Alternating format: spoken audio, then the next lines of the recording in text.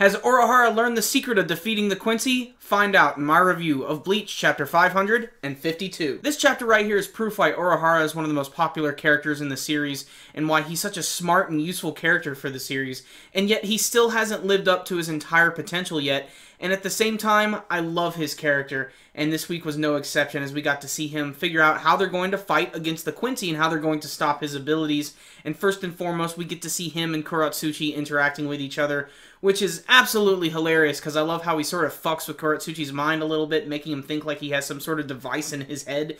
And it literally seems as if Kurotsuchi is like about to rip it out of his head until all of a sudden Urahara appears throughout this like weird window door. He also has learned something very important about the Hollows. And uh, I love that they're finally bringing the Hollows back into the forefront because that's kind of how the series opened up. Uh, same thing with the Quincy's as well, and we get a little bit more explanation. We've always known that the Quincy's have been really, really ruthless towards Hollows, and the main reason for this is because Hollows are like poison to the Quincy's if a hollow attacks a Quincy, they're pretty much screwed. They're not even going to go through like a hollification or anything.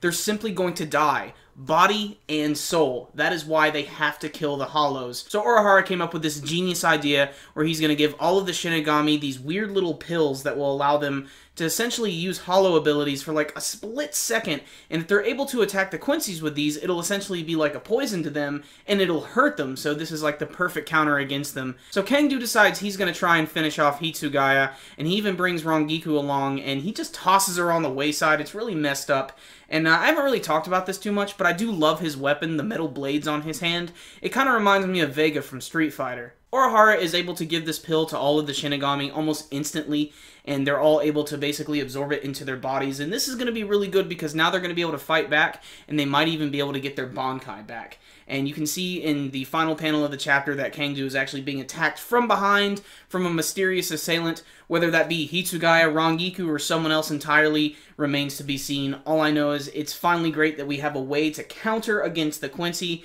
and it's really awesome that it's because of the Hollow. The Hollow have really come a long way. They've really evolved as the series has come on. They started out as monsters, and then they turned into the Arrancar and ended up having a lot of character. They had their entire arc devoted to them, and then they sort of got tossed the wayside at the beginning of this Quincy arc, all of a sudden they're being brought back into the forefront. Now, the biggest thing in this chapter is how did Urahara even come up with this plan? How did he figure that it was going to be the Hollows that would do this? And I think a lot of this is going to go back to the point where Urahara was actually saved by that mystery person with the sword, which a lot of people still think is Grimmjow, and I think that would be awesome because, come on, he was such a badass character. We need to see him come back. Until that point, it's all speculation. The good news is, this week's chapter of Bleach was very good. It was a little heavy on the explanation, but at least it made sense, and I love to see that they're going to have this really creative counter against the Quincy.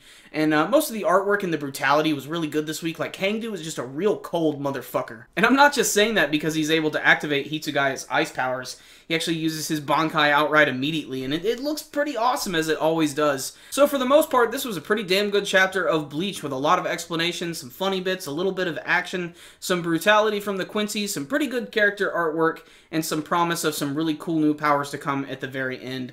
So I really don't have any complaints with this one, aside from the fact that Ichigo is not yet back on the scene, and frankly, I just want to see him do something, because he just got a really cool new power-up, and I want to see it in action, but I know they're just trying to build that up a little bit. So because of that, I'm going to give this week's chapter a 9 out of 10. It's a pretty damn good chapter that I think Bleach fans are going to enjoy. So if you are following the series, make sure and check this one out. But if you guys did have a chance to check out this week's chapter of Bleach, I'd love to know what you thought about it. You can tell me about your favorite moments and what you're hoping to see from these brand new Hollow powers. You can let me know with your comments below. Remember guys, before you leave, make sure and give this video a thumbs up. Absolutely one of the best ways to support our videos. So, I will see you next time guys. Super Kami Guru 9000. Out.